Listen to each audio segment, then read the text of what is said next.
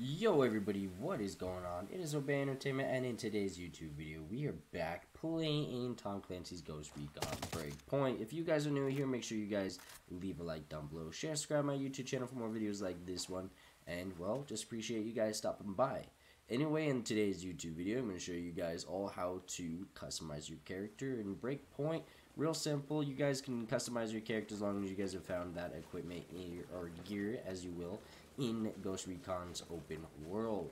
There's plenty to explore, there's plenty to find, um, plenty of time to get caught. Anyway, it's real simple. I play on Xbox One. If you guys play on PlayStation and computer, it's totally the same. Uh, the only thing that's going to be different is your buttons, obviously. So go ahead and click Start. Once you guys are on Start, obviously you guys will have your normal loadout screen. And yes, you can technically, boom, Mm, all my stuff just changed as you guys see there. You guys can technically upgrade all of your stuff here. Not upgrade but change your looks and etc and etc but really this is your gear. This is what goes over everything. Whereas in this is kind of what's underneath.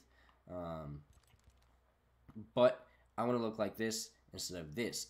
Alright so basically if I change my hat here right and let's say I just found this on somebody's body I'm gonna have to wear that hat blah blah but I don't want to. I want to wear nothing. This is how I want my character to look. And if you look down here, there's a skin override. That's what you guys pick.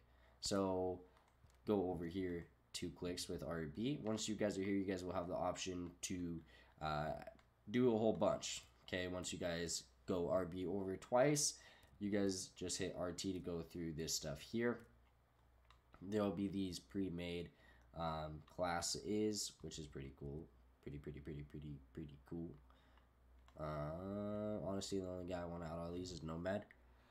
I don't really care about the rest if I'm being rather honest with you. You could just buy all the stuff separately to make this guy. Um, which, honestly, just do that. But anyway, my guy doesn't have a backpack on. Let's go give him a backpack. Let's see what backpack suits him the most. And that one's a little big. That one looks pretty good. And that one's awful small. Changes in the front as well. So that's none. We're going to go with Nomad's backpack here. Equipped that. That's that. Now if I go skin override, boom, that's what I'm going to look like now. Without, with. Alright, so we're to go skin override and that's all you guys got to do. If you guys want to change the color of something, select it, and then you guys just hit X. Now you have the option to change the color, um, the whole nine yards. However you want your character to look, you'll have the option to change that upon doing your guys' stuff.